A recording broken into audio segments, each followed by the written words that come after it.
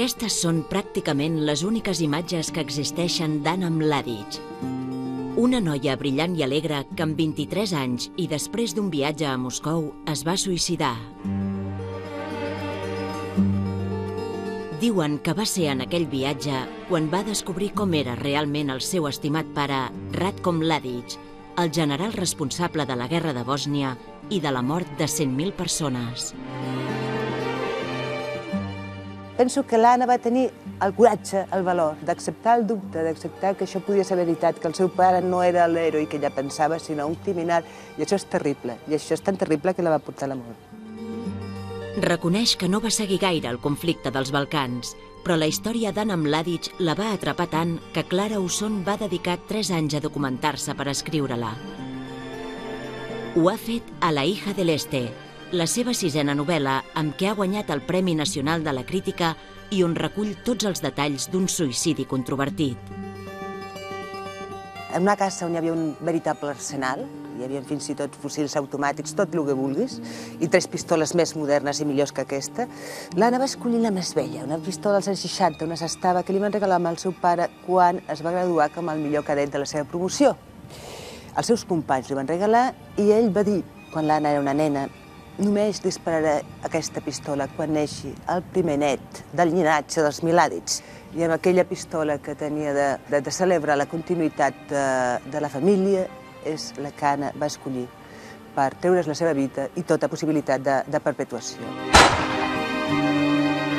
Amb aquest tret al cap, amb aquella pistola, l'Anna li estava dient al seu pare no puc viure, no puc suportar ser filla teva, no puc viure ara que sé qui ets, tu eres la meva referència absoluta perquè ho era, i ara ja no té sentit res. O poder també el volia castigar, li volia dir, doncs, jo sé que jo sóc la persona que tu més estimes al món, i és cert, vull dir, estimava més a l'ara que ningú, i li deia la seva estrella, era un amor no incestuós, però molt, molt estret, entre pare i filla, i poder li estava dient, com m'has decebut tant, vull dir, jo em mato per castigar-te, o una altra possibilitat, eh, jo em sacrifico, perquè tu te n'adonguis del que estàs fent a d'altra gent i paris.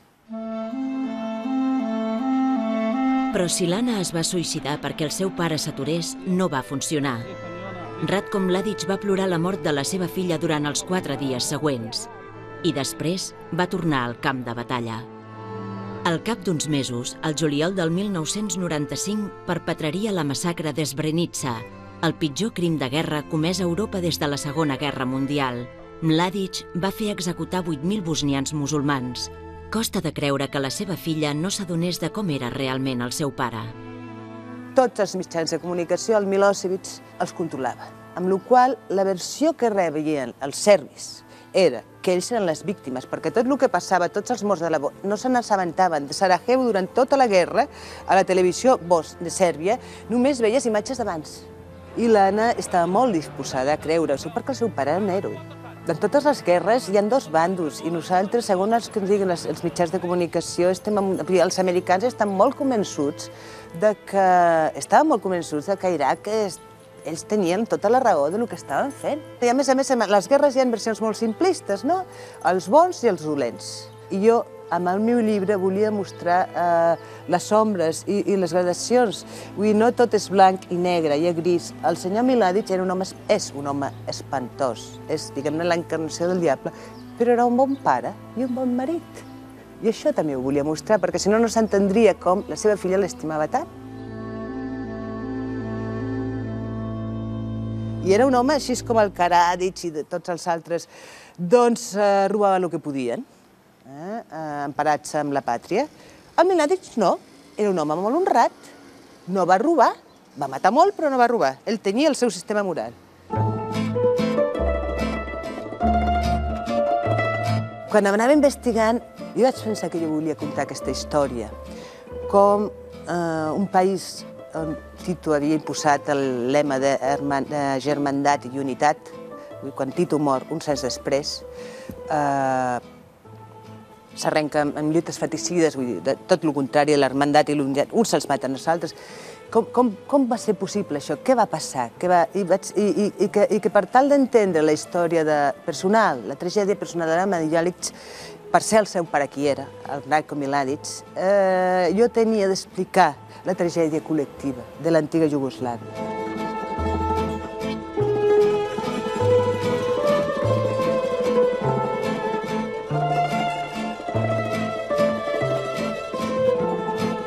He ficcionat personatges, però que estaven basats en persones que... Però tot el que són escenes de matances, tot això és cert, perquè és que quan hi ha, malauradament, tantes, eh, tants horrors reals, per què me n'ha d'inventar? No té cap sentit. Abans de que el portessin a la Haia, abans de l'extradició, ell va demanar que volia anar al cementiri de Topchider per eh, acomiadar-se de la seva filla. Diu, i si no em deixen anar al cementiri, que em portin el seu ataúd a la presó. Perquè és així que va, va anar, va anar, el van portar, el van portar i va deixar sis roses i va... Perquè per ell encara això és l'únic que avui en una guerra en tants morts només hi ha una, que és la seva filla.